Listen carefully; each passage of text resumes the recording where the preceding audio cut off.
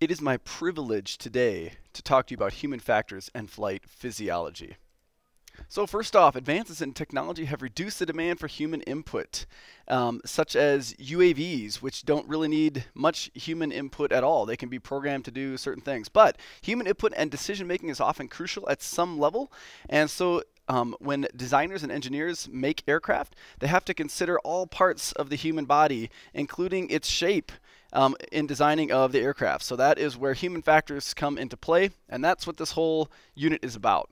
So, flight physiology, pilots and supporting crew provide the human dynamic for the flight, and the body and mind strengths and limitations impact the design and operation of the aircraft, including um, your field of view and your vision and your blind spots and all sorts of things, and your, you know, how far the arm can reach and where you can reach. So that's why switches and bars and pedals and windows and everything are designed exactly the way that, that they're designed. But with UAVs, unmanned vehicles, um, then it doesn't really matter as much. You don't need a cockpit, um, so it doesn't actually have to look the same. So things are changing. All right, more than 70% of aviation accidents and incidents are related to human factors. So there's a plug for UAVs.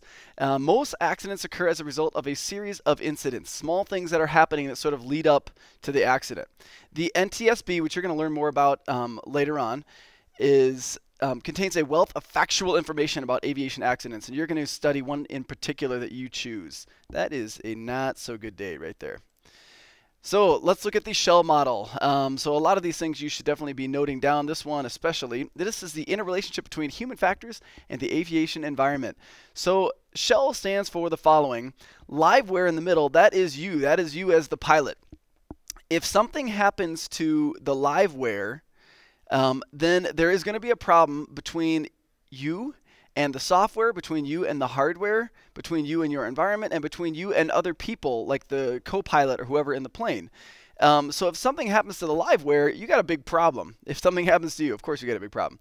Uh, if something happens to the hardware, then its only interaction generally may be with just you.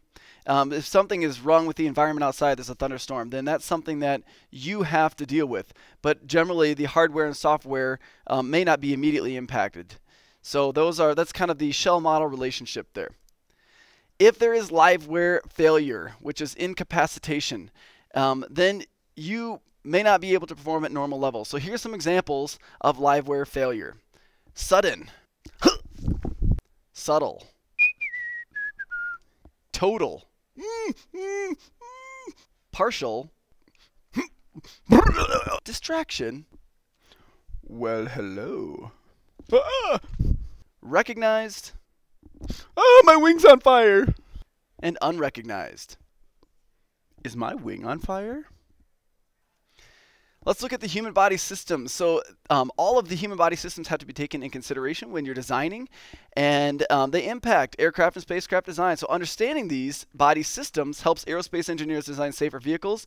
This is true not only with um, just basic flight vehicles within our atmosphere, um, but also for space vehicles. Human body systems is a huge component to um, understanding people in space travel. First, let's look at cardiovascular system. Um, so you might want to just note um, what the cardiovascular system does, and it maintains uninterrupted blood movement. So that's what we're uh, that's what we're doing. We're moving oxygen, carbon dioxide, nutrients, waste, and heart pumps blood into arteries, capillaries, and then tissues and cells. So cardiovascular system, your heart has to be able to pump uninterrupted. Uh, central nervous system collects, transfers, processes information to the brain and spinal cord. So if something is happening um, along this region, then that's generally a bad thing. Musculoskeletal system supports bones, allows for movement. Um, it also provides your general framework and shape, which needs to be accounted for when you're designing, especially when designing spacecraft, where space within the pod is at such a premium. Um, figuring out how to cram people in is a really important thing, but you also need to be able to um, allow them to move and stretch. Respiratory system exchanges oxygen and carbon dioxide through or into and out of the bloodstream through the lungs. Um, and if you don't take this into consideration when you get up to high altitudes, you don't have oxygen. So then it has to be designed into the aircraft some sort of um, respirator for extra oxygen. Metabolic system. Metabolic system is like the liver, the gallbladder, the kidneys. This allows all the body systems to work together and it converts resources into substances, chemicals, and energy to just support the general brain and body activity. And vestibular system, this one is kind of cool. It's crucial for balance and spatial orientations, this inner ear thing. You probably heard about this before.